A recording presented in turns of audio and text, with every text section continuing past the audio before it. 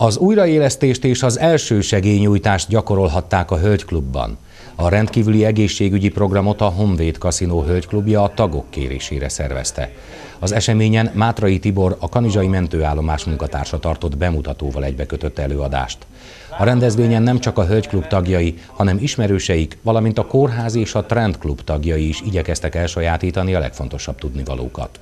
Valaki fekszik az utcán, és, és furcsán veszi a levegőt, nem válaszol, láthatóan nem reagál, ezt fel kell, hogy ismerjük.